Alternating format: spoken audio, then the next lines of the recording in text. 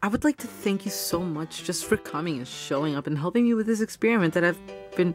Thank you. No problem, Twilight. You don't have to thank me. I love doing experiments for other people, though it doesn't happen often. I know, but I'd still like to thank you. You've done so much for me. Well, if you could please get on that bed. Oh, of course. Lay down in it like this. Yeah, exactly like that. Perfect. Thank you. Get ready to die. I didn't agree to death. It's not death, it's a transformation experiment. If I do this correctly, I will transform you into, well, I don't really know what. What do you want to be transformed into? You know, I've always wanted to know how it would feel like if I was a, a dog. Can you do that? Of course I can. Just get on the bed. Okay. Now with the press of this button.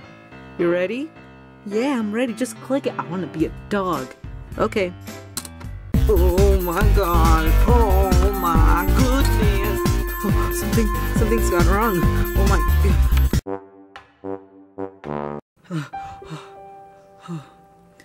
Are you all okay?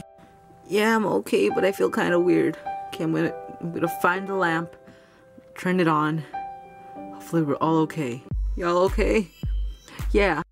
Oh, oh, I have a headache. No one cares, Spike. Is did my experiment go well? Oh my goodness. Oh. I feel like a human.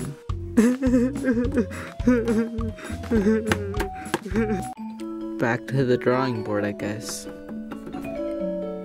Hi, Mom. I would just like to say that, well, um, I never get any camera time, but now that I finally have camera time, I just want to say that, well,